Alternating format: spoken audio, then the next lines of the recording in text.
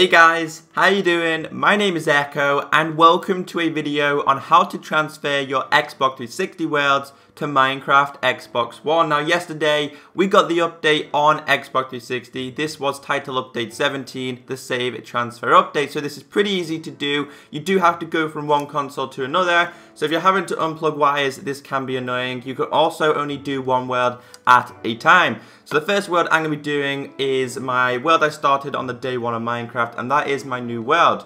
Now you'll see at the bottom, it's got A to select, B back, X change storage device, Y upload save for Xbox One, or RB to save options. All you simply do is press Y, it will bring up this menu, and it says only one Xbox 360 console save can be stored in the save transfer area at a time. Please ensure you have downloaded the save on your Xbox One console before uploading another Xbox 360 console save. So, as you do this, you press upload save, and you need to wait for the process to fully happen.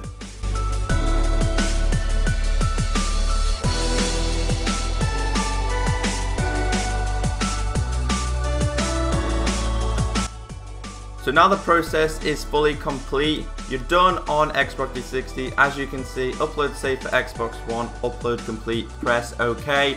Now at this point, you don't need to do anything else on Xbox 360, so it's time to hop on to Xbox One. Okay, at this point, all you need to do is launch Minecraft Xbox One, and I'll explain to you all the steps that you do need to do. Now I still need to download all the DLC from Xbox 360 to Xbox One, the Halo Master Pack, uh, Mass Effect and the Skyrim one.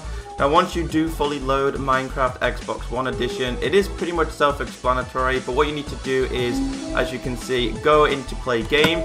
From here on the bottom, it will say A to select, B is back, and X to retrieve Xbox 360 save. So we're going to quickly just retrieve the, retrieve the save. Now it can take a little bit of time, so I will just quickly skip ahead.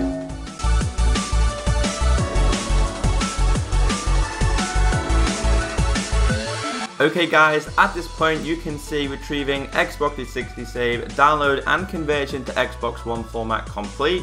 Press OK and you'll notice that my world will also be available on Minecraft Xbox One. Now my controllers are currently dying so I do apologize for that. So I go down, as you can see, my world is here. You'll notice all the texture packs from Xbox 360 and the mashup packs are available. You do have to re-download them, but they are free. So all I'm simply going to do is load my actual world in the default texture and show you what this does look like. So if I load that, you'll notice in the top, it's got like create, it's been created in creative mode. Uh, it's got the seed, survival, it's on easy. Uh, and it says this world has previously been created okay. So it's just explaining that you can't gain achievements in the world if it has been created in creative mode. Um, so I'm going to quickly just show you guys what my world does look like. And the fact is that you can keep your world. It's a brilliant process.